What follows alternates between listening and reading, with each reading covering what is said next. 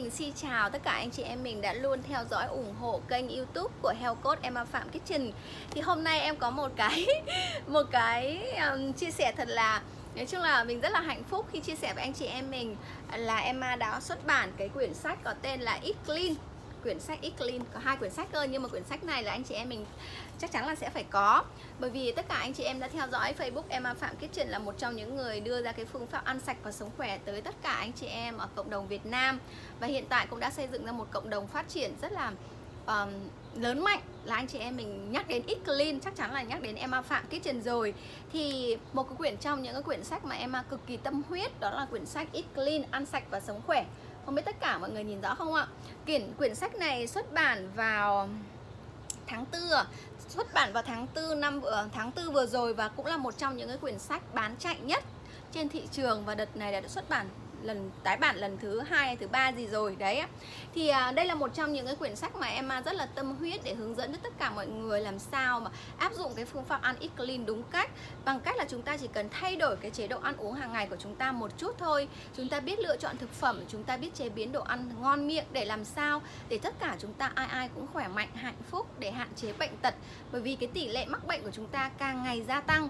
Do đó những ai chưa biết về phương pháp eat clean chưa ai hiểu về phương pháp eat clean thì hãy nhớ có quyển sách eat clean ăn sạch và sống khỏe mà hướng dẫn cho tất cả mọi người, đặc biệt là những người mới bắt đầu, có quyển sách này trong tay, áp dụng nhé thì trong quyển sách này sẽ hướng dẫn cho anh chị em mình cách lựa chọn thực phẩm này, cách cân bằng dinh dưỡng này, cách chế biến đồ ăn này, cách làm sao chúng ta ăn để cho những người muốn giảm cân sẽ hỗ trợ giảm cân thành công, những người tăng cân sẽ tăng cân thành công, những người đang vấn đề về bệnh lý, về bệnh sức khỏe chúng ta biết ăn đúng cách để chúng ta cải thiện các căn bệnh của mình.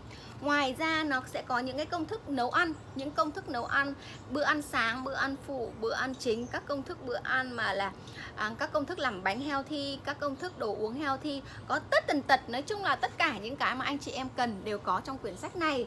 Thì rất là mong anh chị em mình, những ai muốn quan tâm đến sức khỏe của mình, muốn cải thiện, hãy có ngay quyển sách Eat Clean, ăn sạch và sống khỏe, tác giả là Heo Cốt Emma Phạm Kitchen, một trong những tác giả bán sách à, bán chạy nhất từ năm trước đến năm nay.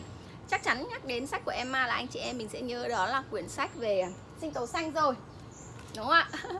Quyển sách này luôn luôn là một trong những cái quyển sách bán chạy nhất trong năm vừa rồi và xuất bản đến 5-6 lần rồi. Quyển sách sinh tố xanh này nhá.